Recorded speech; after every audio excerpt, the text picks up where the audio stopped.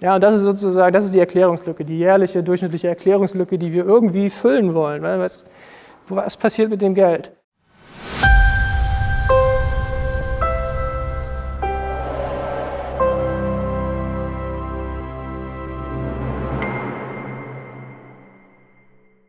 Gehen wir also zum zweiten Teil über, wo wir ein bisschen mehr auf die wahrscheinlich interessanteren praktischen Implikationen schauen wollen. Im ersten Teil haben wir noch mal so ein bisschen theoretisches Rüstzeug uns angeeignet, haben geschaut, was macht der Zins eigentlich, wenn er nicht manipuliert wird? Ne? Was ist seine Funktion?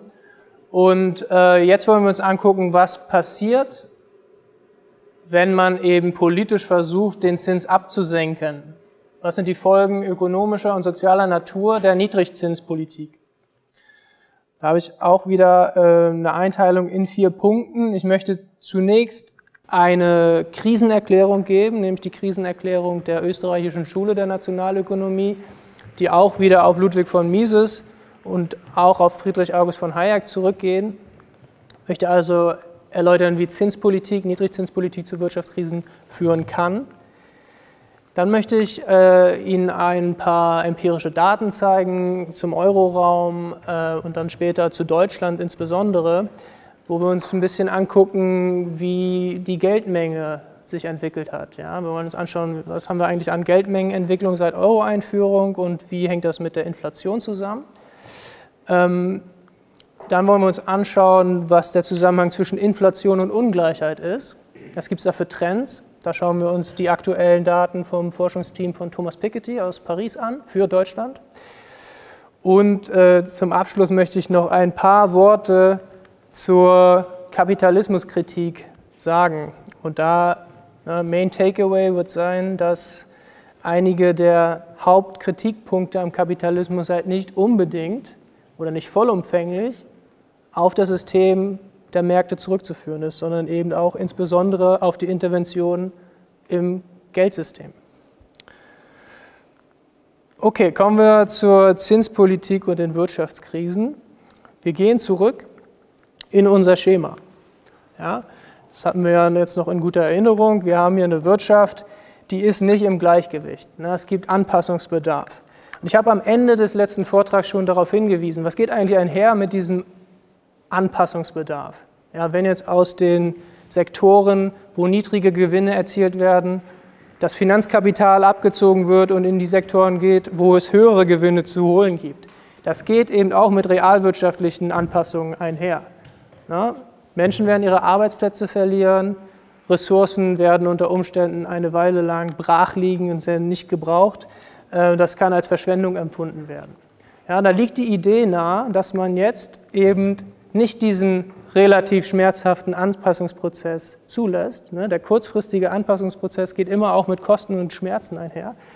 Ähm, und wenn man das nicht zulassen will, könnte man äh, intervenieren auf den Kreditmärkten.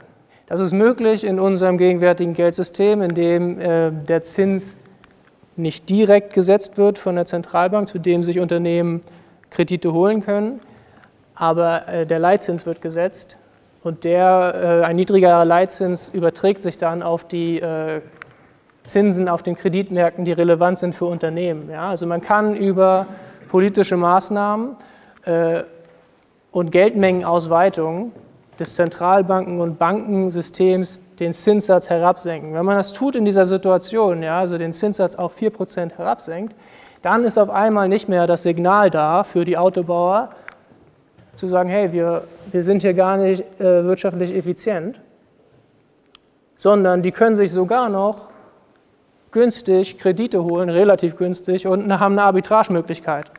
Ja, sie können sich für 4% Kredit holen und 5% Gewinne beim Autobau machen. Das heißt, das ist der Effekt ähm, dieser Politik.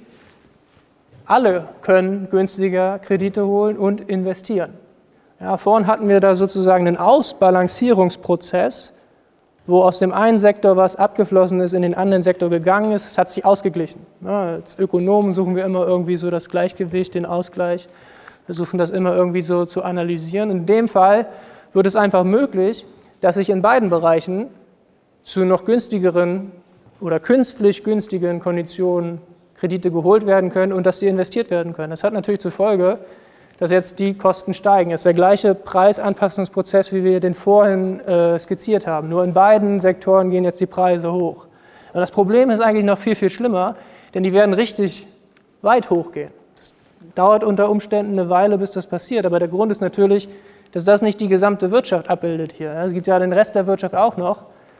Und wenn der Zins abgesenkt wird, hat es auch auf den ganzen Rest der Wirtschaft eine Auswirkung und vergünstigt die Fremdfinanzierung und zusätzlichen Investitionen in allen äh, Wirtschaftsbereichen.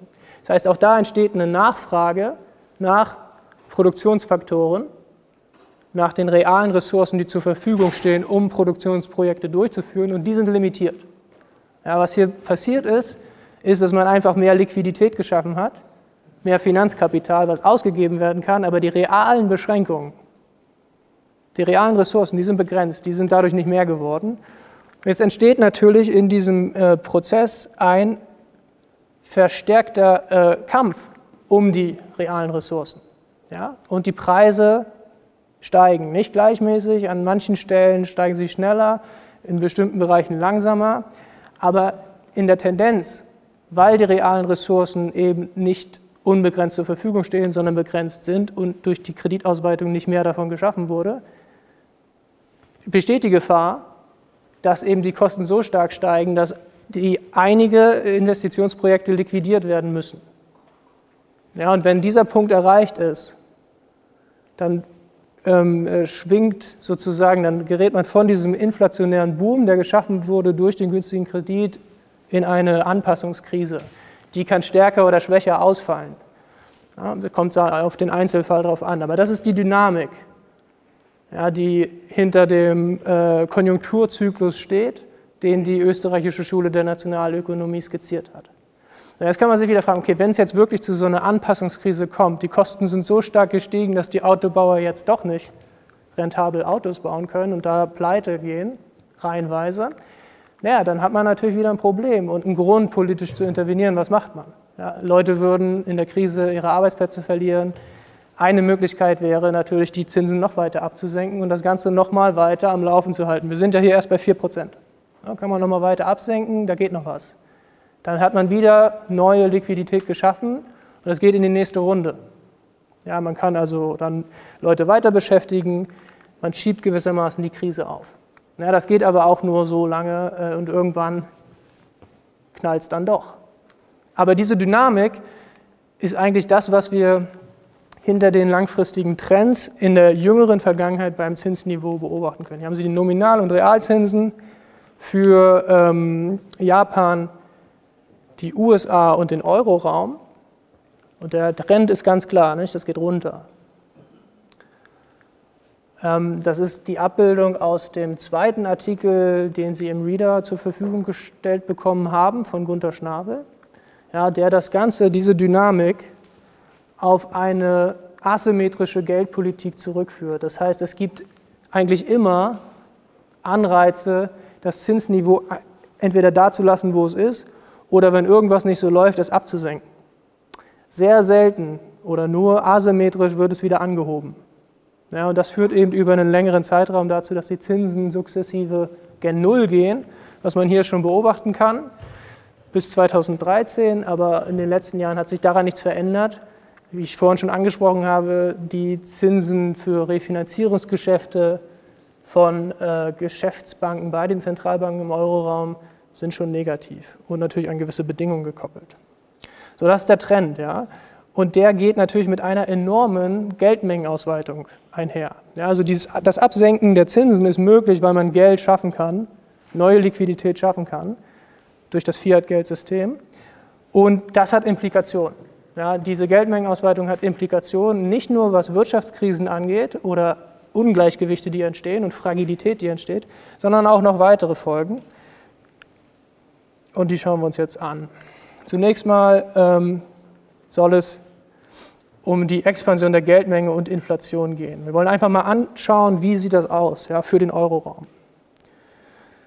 So, da fangen wir an mit der Geldmenge M1 seit Einführung des Euros, beziehungsweise kurz vorher.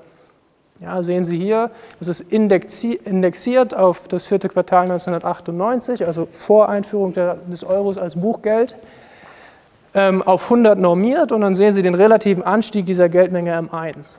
M1 ist die Geldmenge, die man so intuitiv für Geld hält. Ne? Das ist das Bargeld, was Sie im Portemonnaie haben, was im Umlauf ist und das normale äh, Geld auf Ihren Girokonten, was Sie jederzeit zur äh, Ausgabe und zum Kauf von Gütern und Dienstleistungen verwenden können. So, was sehen Sie hier in den äh, gut zwei Dekaden, seitdem der Euro da ist, wurde diese Geldmenge im Euroraum um den Faktor 6 ausgeweitet. Also von 100 auf über 600 gestiegen. Über 500 Prozent ist diese Geldmenge gestiegen. So, das ist einfach schon mal, wenn man sich das vor Augen hält, äh, beeindruckend. Ja, also so starke Geldmengenausweitung, das muss doch irgendwelche Effekte haben. Ja, äh, ist die Wirtschaft gleichzeitig real so stark gestiegen? Haben wir so starke Inflation gehabt? Ähm, Inflation haben wir im Verhältnis ganz gering gehabt, jedenfalls gemessen im HVPI. HVPI ist im Aggregat für die Eurozone in der Zeit so etwa 40 Prozent gestiegen. Ja, und da sehen Sie, okay, da gibt es eine riesengroße Diskrepanz. Das spiegelt sich also nicht im harmonisierten Verbraucherpreisindex wider, also bei den Konsumgütern und Konsumdienstleistungen. Ist vielleicht irgendwo anders hingegangen, das Geld. Also irgendwo anders einen Effekt gehabt. Vielleicht ist ja die Realwirtschaft gewachsen und hat diese zusätzliche Geldmenge absorbiert.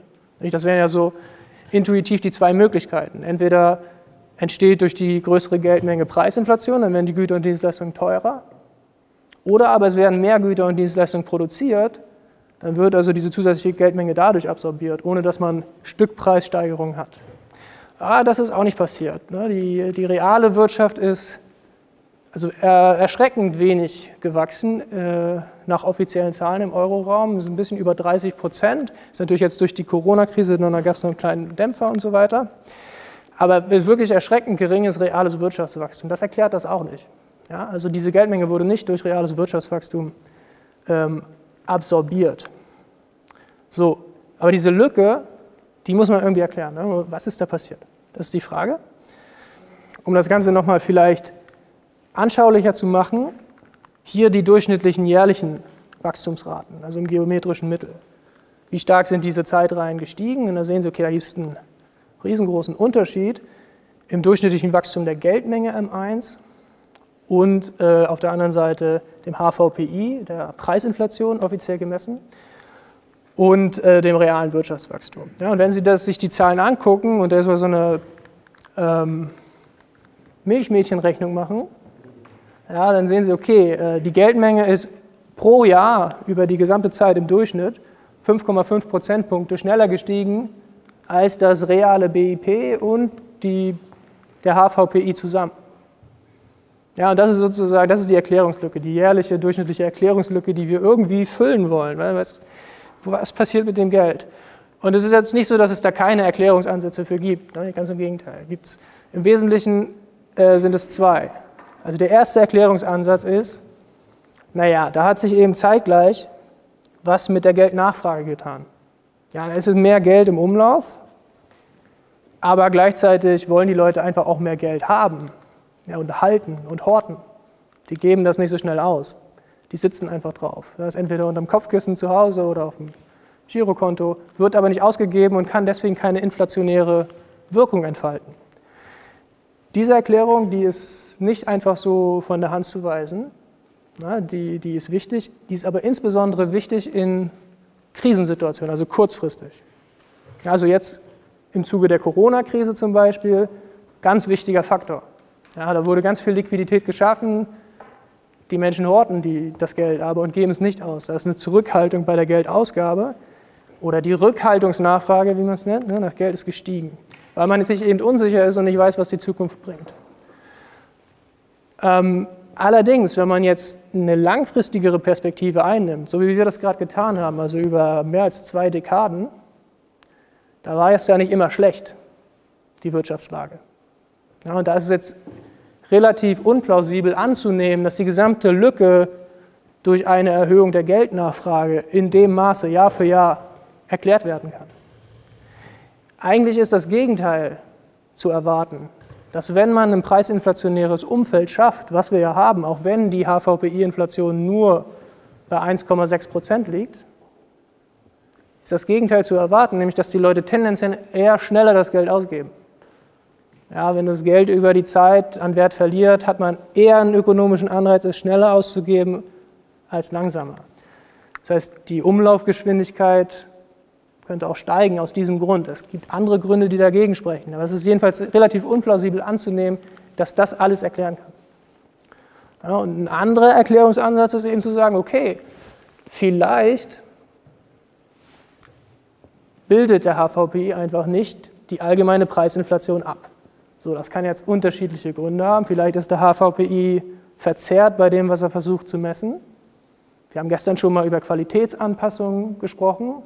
Das Problem bei Qualitätsanpassungen ist, dass sie einseitig vorgenommen werden im Wesentlichen. Bei Qualitätsverbesserungen werden die Preise runtergerechnet, bei Qualitätsverschlechterungen nicht im gleichen Maße hoch.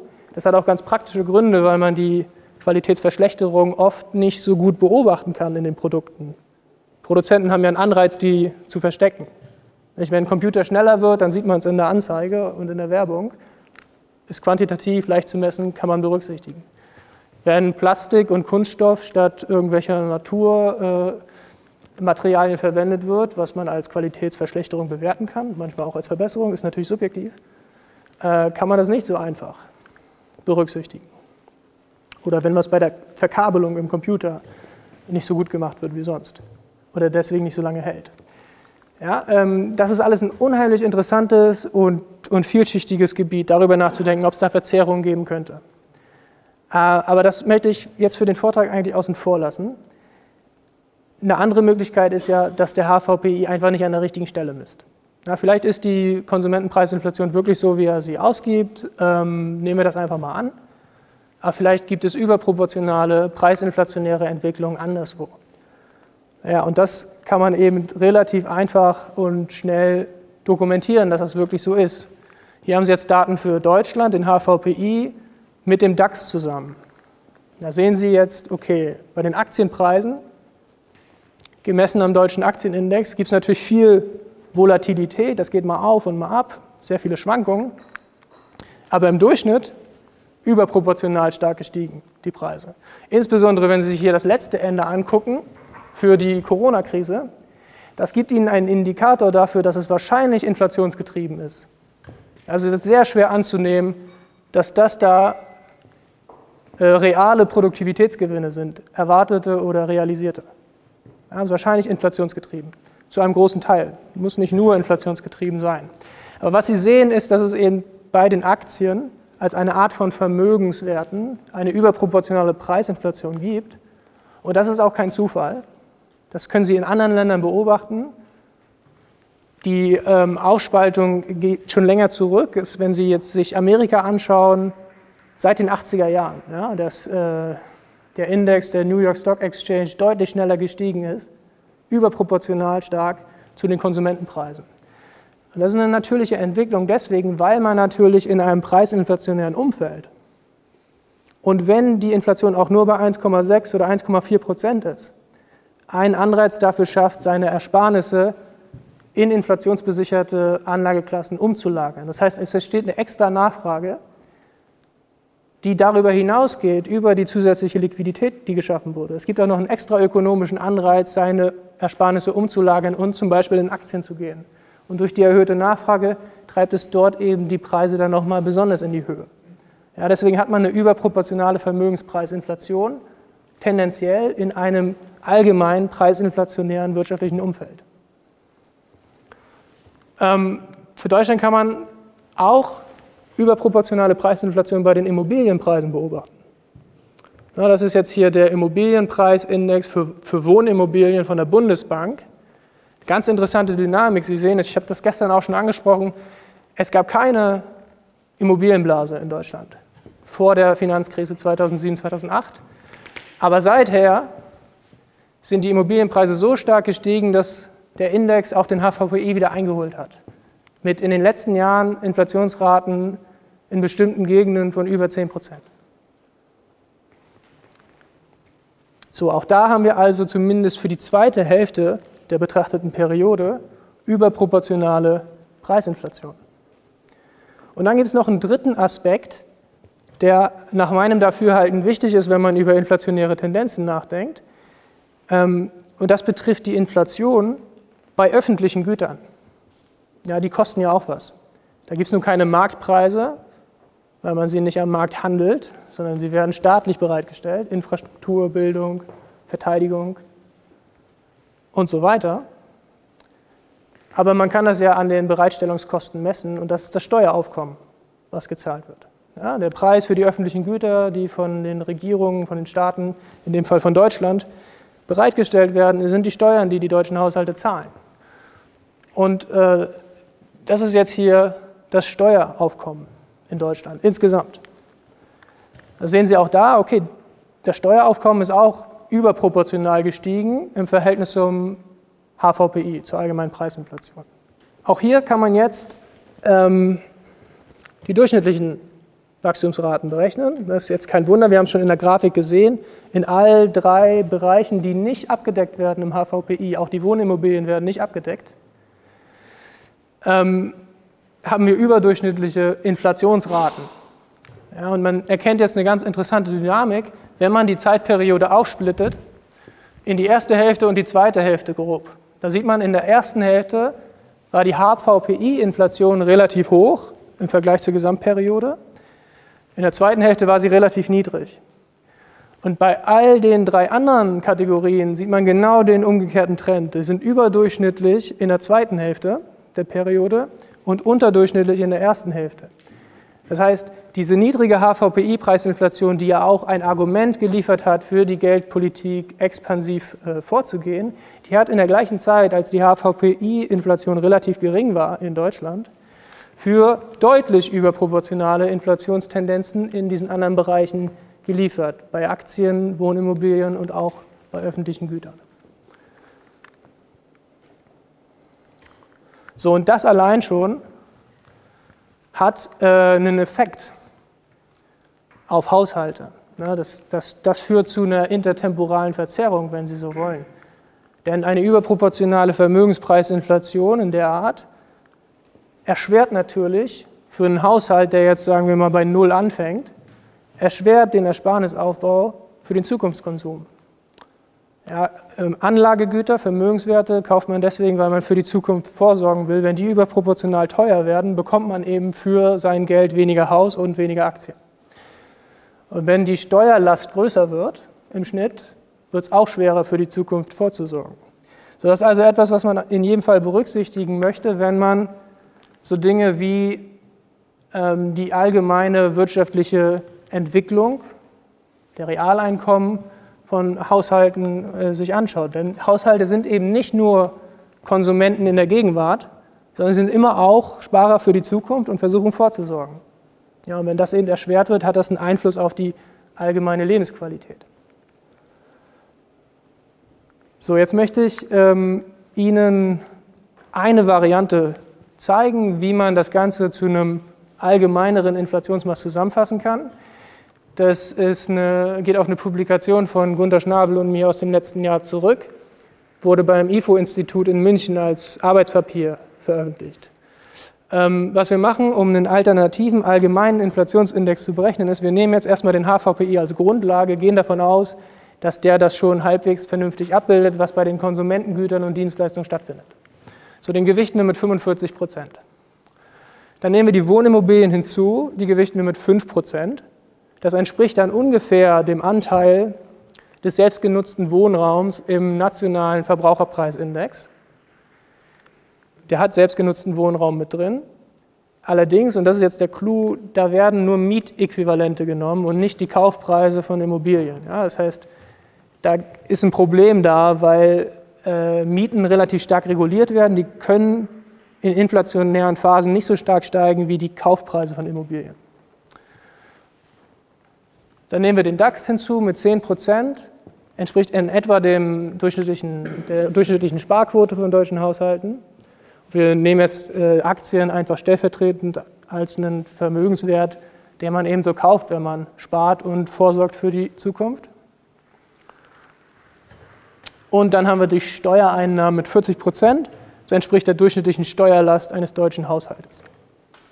So, und wenn man das zusammenrechnet, dann bekommt man einen Alternativindex, der eine interessante Dynamik zeigt. Ja, der ist zunächst mal gar nicht unbedingt höher.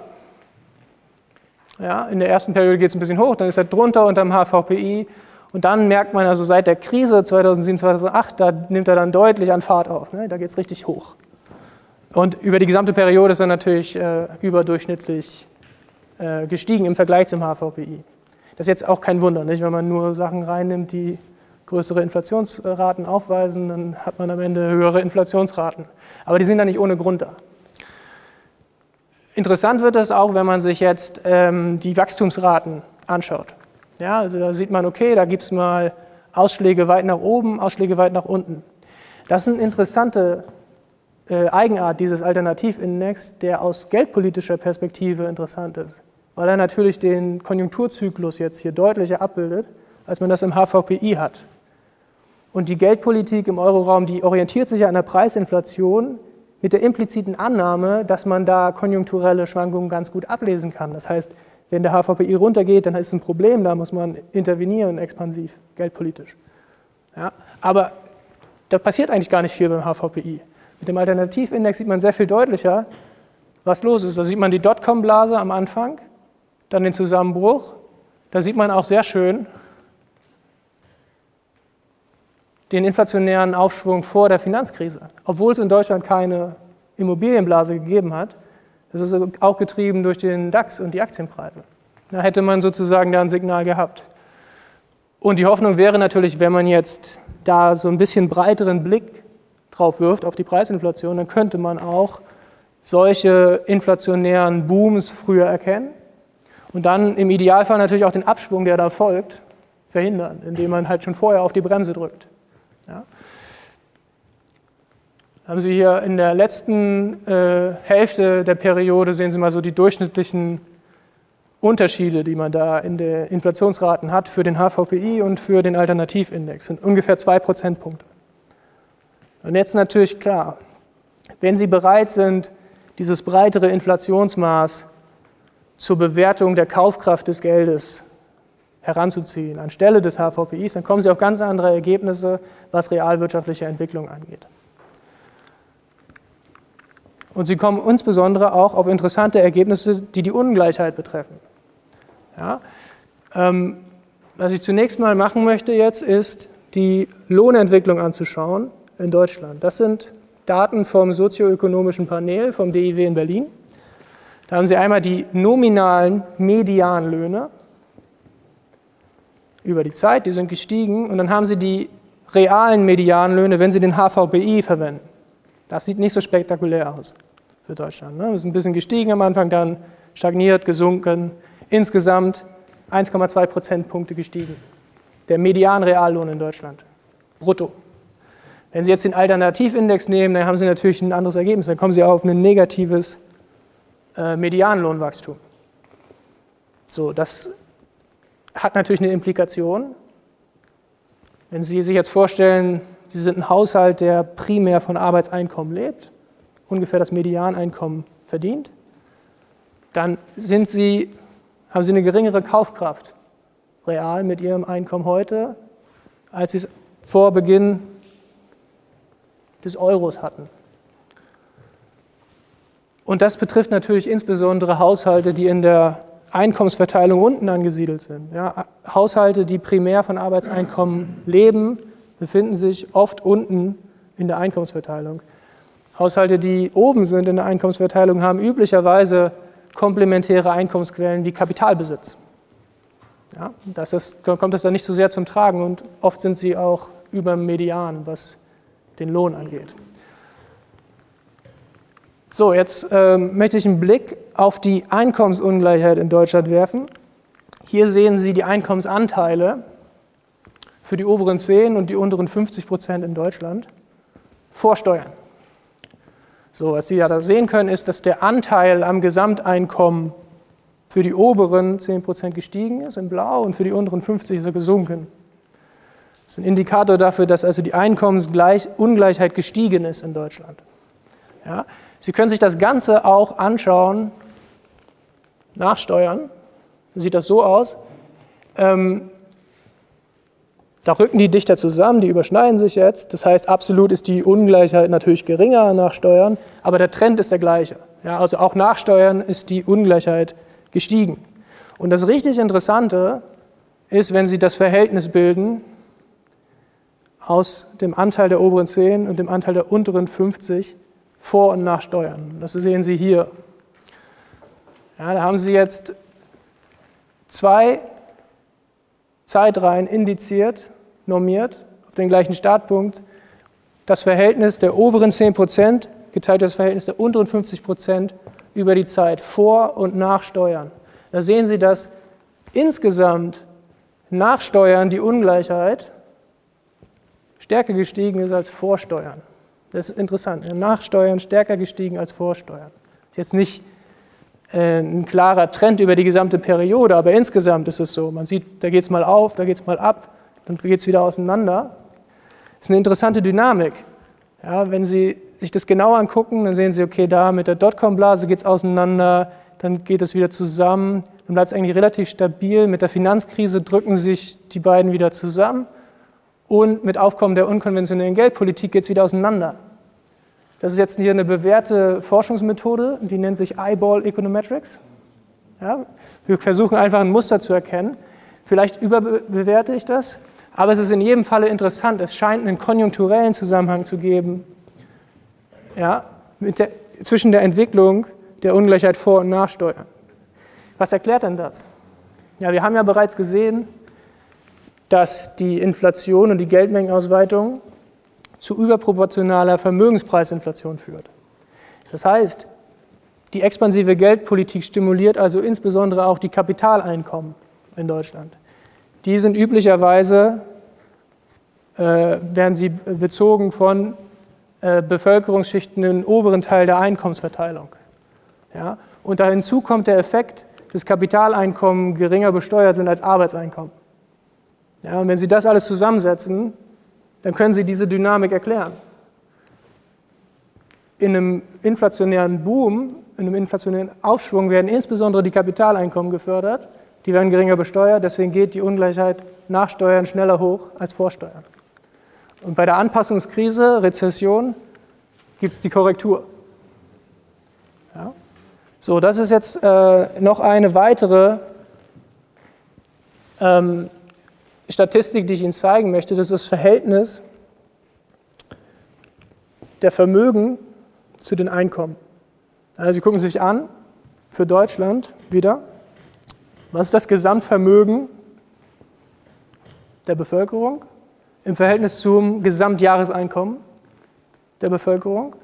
Das sieht jetzt nicht so spektakulär aus, ne? aber Sie sehen auch da, das ist gestiegen und insbesondere nach der Krise mit Aufkommen der unkonventionellen Geldpolitik ist es gestiegen. Was bedeutet das? Es ist ungefähr von ein bisschen über vier auf fast fünf angestiegen. Das bedeutet also, dass am Anfang die Vermögen im Verhältnis zu den jährlichen Einkommen viermal so groß waren und zum Ende hin sind sie eher fünfmal so groß. Hat das irgendeine Implikation? Ja, hat es. Wenn Sie ein gegebenes Einkommen beziehen, als Haushalt, als Individuum, und bei Null anfangen und sich in der Vermögensleiter hocharbeiten wollen, haben Sie einen längeren Weg zu gehen, um eine relative Position dort zu erklimmen. Um den Median oder den Durchschnitt zu erreichen, müssen Sie länger arbeiten, mehr Jahre arbeiten, um da anzukommen. Also in dem Sinne, und das ist ja im Wesentlichen durch überproportionale Vermögenspreisinflation getrieben, führt die expansive Geldpolitik dazu, dass der soziale Aufstieg erschwert wird. Ja, also die soziale Mobilität nach oben wird relativ schwieriger. Das hat auch eine weitere Implikation. Wenn, die, wenn der Aufstieg nach oben schwieriger wird, dann wird natürlich auch der Abstieg nach unten schwieriger. Oder anders gesagt, es ist leichter, oben zu bleiben, wenn Sie oben sind. Ja? Auch das ist natürlich eng in Verbindung mit der überproportionalen Vermögenspreisinflation. Wem kommt die denn zugute, wenn Sie darüber nachdenken? Natürlich all denen, die bereits Vermögenswerte haben. Ja, wenn die Häuserpreise steigen und Sie Immobilienbesitzer sind, stört Sie das nicht so sehr. Da freuen Sie sich drüber. Wenn Sie viele Aktien besitzen und die Aktienpreise in die Höhe gehen, ist das auch gut für Sie. Ja? Also da, diese Dynamik ähm, ist da auch wieder erklärt, in den überproportionalen Vermögenspreis zu wechseln. So, und jetzt möchte ich zum Abschluss noch ein paar Worte zur gängigen Kapitalismuskritik äh, sagen. Wir haben ja jetzt hier viel uns angeschaut, was man kritisch sehen kann ja, ähm, und die meisten Leute kritisch sehen. Ähm, und das wird oft eben als eine Entwicklung des Kapitalismus angesehen. Das heißt oft, äh, der Kapitalismus führe zu Krisen, führe äh, zu sozialer Ungleichheit oder Ungerechtigkeit und zur Konzentration von Marktmacht. Das ist noch ein dritter Punkt. All diese Tendenzen können wir eigentlich mit dem, was wir jetzt gerade gesehen haben, ganz gut erklären. Nur unsere Ursacheanalyse ist eine andere. Wir würden jetzt nicht sagen, dass es unbedingt allumfänglich auf das System der Märkte, auf die Marktwirtschaft zurückzuführen ist, beziehungsweise auf den Kapitalismus. Aber dann kommt es ja darauf an, nicht? wie meint man das denn mit dem Kapitalismus? Was ist damit gemeint? Ähm, und wenn man eben das System so versteht, wie es gerade existiert und das Kapitalismus nennt, dann stimmen die Kritikpunkte in jedem Fall. Ich würde zustimmen. Ja? Es ist auch immer ein Fünkchen Wahrheit drin, wenn Sie als Kapitalismus einfach freie Marktwirtschaft verstehen. Ja, natürlich ähm, gibt es in der dynamischen freien Wirtschaft immer auch die Gefahr, dass da was schief geht und dass krisenartige Zustände entstehen. Ich würde nicht denken, dass jetzt wirklich dieser Konjunkturzyklus, so wie wir den haben in der, jüngeren Vergangenheit, dass der in der Form auftreten würde, wenn man nicht den Interventionismus der Zentralbanken hätte. Aber das sei mal dahingestellt. Aber es führt auch natürlich zu Ungleichheit. Wenn man eine freie Marktwirtschaft hat, führt es zu Ungleichheit. Ist auch richtig in einem gewissen Grade. Aber es ist immer entscheidend, wie kommt denn die Ungleichheit eigentlich zustande? Und wenn man das Argument jetzt akzeptiert, was ich hier präsentiert habe, dass also expansive Geldpolitik Umverteilungseffekte zeitigt, die insbesondere denen zugutekommen, die oben angesiedelt sind in der Einkommens- und Vermögensverteilung, dann ist das eben kein Auswuchs der freien Märkte, sondern äh, ein Effekt des Interventionismus. Jedenfalls insofern man das Argument akzeptiert. Es mag auch nicht der einzige Treiber sein, es kann andere Treiber geben. Sagen wir noch mal ein paar Worte zu den Krisen. Ich habe jetzt äh, die österreichische Konjunkturzyklentheorie angedeutet, ganz kurz zusammengefasst. Die ist natürlich etwas komplizierter, aber es gibt da noch mehr zu, zu sagen in, äh, zum, zum Zusammenhang zwischen der Niedrigzinspolitik und Wirtschaftskrisen. Denn was die Niedrigzinspolitik eben auch insbesondere vorantreibt, ist die Schuldenwirtschaft. Ja, also niedrige Zinsen treiben die Wirtschaftsakteure in die Schulden. Hier haben Sie jetzt ähm, die Haushaltsschulden äh, im Verhältnis zum BIP in der Eurozone. Da gab es dann ein kleines Korrektiv nach der Krise. Seit der ähm, Corona-Pandemie ist es wieder etwas hochgegangen. Dann können Sie dagegen legen, hier die Staatsschulden, die sind noch etwas höher. Da sehen Sie seit der Krise natürlich einen rasanten Anstieg zurückzuführen auf die ganzen fiskalpolitischen Maßnahmen, die über Schuldenaufnahme äh, möglich waren. Ja? Und hier haben Sie die Unternehmen, die sind noch mehr verschuldet in der Eurozone. Wenn Sie es alles zusammenrechnen, haben Sie einen deutlich positiven Trend. Die Schuldenlast insgesamt im Verhältnis zur Wirtschaftskraft, zum jährlichen Einkommen, zum BIP wird immer größer. Seit äh, der Corona-Krise jetzt dicht an 300 Prozent. Also die Schulden insgesamt sind dreimal so groß wie die jährlichen Einkommen. Und das hat jetzt noch nicht mal die impliziten Staatsschulden mit drin. Und was ist der Effekt? Naja, eine übermäßig schuldenfinanzierte oder fremdfinanzierte Wirtschaft ist anfälliger, sie ist fragiler. Wenn irgendwas schief läuft, wenn irgendwas passiert, warum auch immer die Krise jetzt ausbricht, Sie können ja anderer Meinung sein, was die Ursache des Auslösers angeht. Aber sobald was passiert, ist eine überschuldete Wirtschaft sehr, sehr viel fragiler und anfälliger. Ne? Die Effekte einer Krise werden da amplifiziert, weil es Ansteckungseffekte gibt. Ja, wenn ein im Wesentlichen fremdfinanziertes Unternehmen pleite geht, dann geraten auch die Gläubiger in Schieflage und haben Probleme. Ja, und wenn die verschuldet sind bei jemandem und dann nicht zahlen können, überträgt sich das weiter. Ja, das sind Dominoeffekte oder Ansteckungseffekte. Also Krisensymptome werden amplifiziert durch die Schuldenwirtschaft.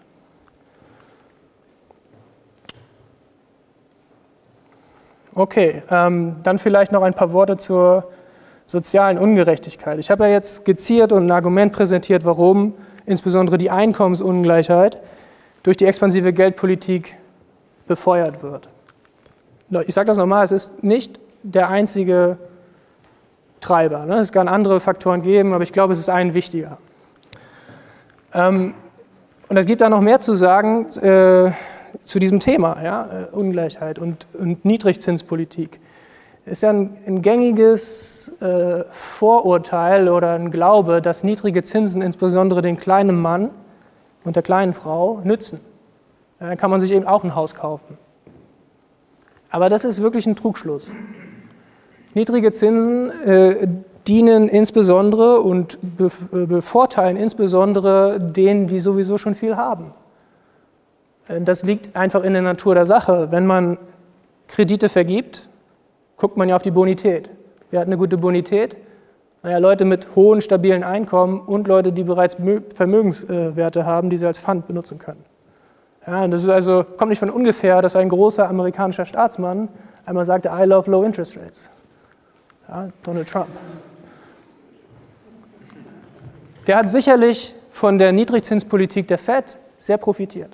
Er hat nicht nur sich günstige Kredite holen, kann, holen können, der hat ja auch noch über äh, Mauscheleien mit dem, ja, mit dem Bürgermeister von New York City hat er ja auch noch sozusagen einen Schuldenerlass ausgehandelt, dass er nicht alles zurückzahlen musste, was er an Schulden aufgenommen hatte. Ja, also das ist jetzt eine besonders interessante äh, Geschichte, aber die Tendenz ist klar und es liegt in der diskriminierenden Natur von Kreditgeschäften. Kredit wird nicht gleich vergeben an alle, sondern wenn man Kredite vergibt, vergibt man die an die Leute, die ein geringes Kreditausfallrisiko haben und das haben sie, weil sie wirtschaftlich gut dastehen.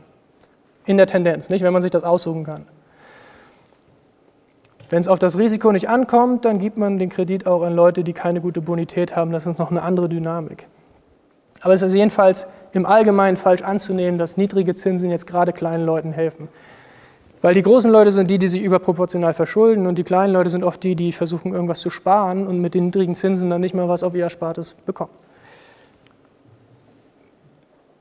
Und ähm, ja, jetzt äh, zum Abschluss noch was äh, zu den Konzentrationseffekten, die auch oft bemängelt werden am, am Kapitalismus. Also der Kapitalismus führe dazu, dass sich Marktmacht konzentriert in wenigen Händen, Monopolisierung von Wirtschaftszweigen und so weiter und so fort.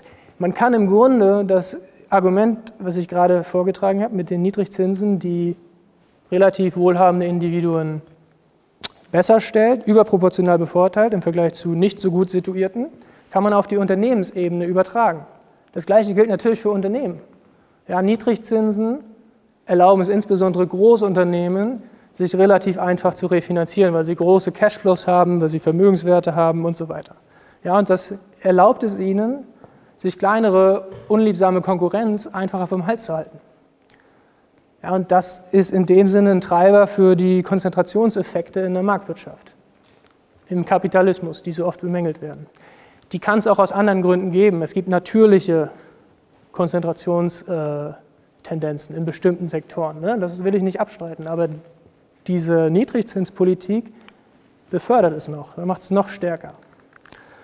Ein letzter Punkt, den will ich noch, äh, noch anfügen zur unkonventionellen Geldpolitik. Man redet von unkonventioneller Geldpolitik immer dann, wenn es jetzt also nicht direkt um die Zinssetzung geht, sondern wenn äh, die Zentralbanken vielmehr als Käufer von Vermögenswerten direkt auf dem Markt auftreten. Ähm, und auch da ist es natürlich so, dass das tendenziell diese Konzentrationseffekte vorantreibt, weil die Zentralbanken kaufen nicht die Anleihen von kleinen Unternehmen, sondern eben von großen Konzernen. Ja, und diejenigen, die einen Vorteil haben, sind dann eben die großen Konzerne. Also auch da wird tendenziell die Konzentration von Marktmacht gefördert. So, wenn man sich das jetzt nochmal alles vor Augen hält, ja, diese Kritikpunkte, Krisen, soziale Ungerechtigkeit, Konzentration von Marktmacht, ist alles vorhanden in dem System, was wir haben, was wir beobachten, aber es ist eben nicht nur ein Auswuchs der freien Marktdynamik, sondern eben auch insbesondere des Interventionismus im Geldsystem. Und insofern, als dass man das eben erkennt als eine ursächliche Wirkung, muss das natürlich auch kritisiert werden und nicht das Marktsystem. Vielen Dank.